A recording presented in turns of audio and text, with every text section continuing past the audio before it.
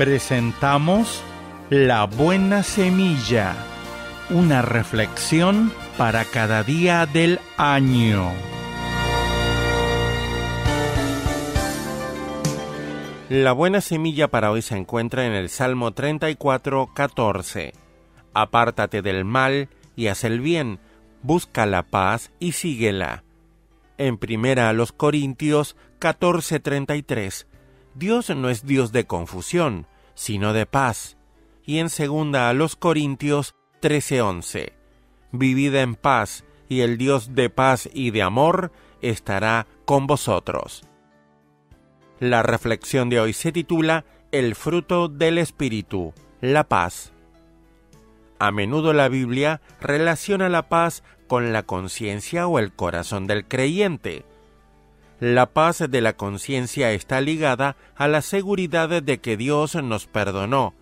La paz del corazón emana de la confianza en su amor y en su sabiduría.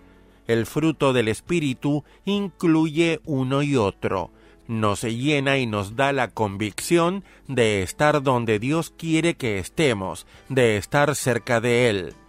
Por ello podemos atravesar los momentos difíciles de miedo, incluso de inseguridad, confiados y tranquilos. El cristiano recibe la paz como un regalo del Espíritu y como el resultado de una actitud activa. Busca la paz y síguela. La paz que el Espíritu Santo da nunca se encierra en sí misma, no es fría ni indiferente. El Espíritu de Dios nos abre a los demás porque nos libera de nuestra tendencia egocéntrica natural y nos ayuda a amar. Mi amigo, Dios es el Dios de paz.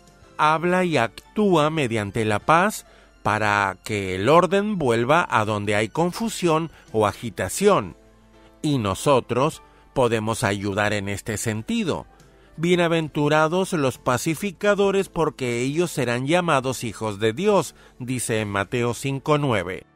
Para ello es necesario que nuestra alma esté en paz.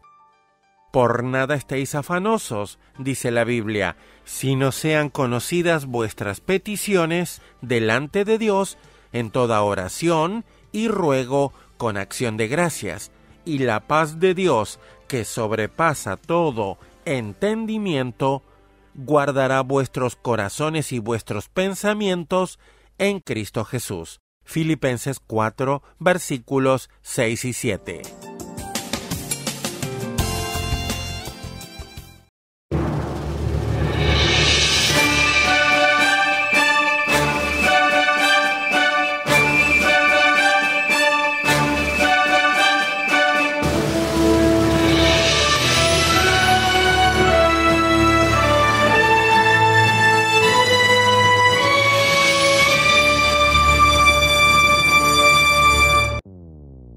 Suscríbete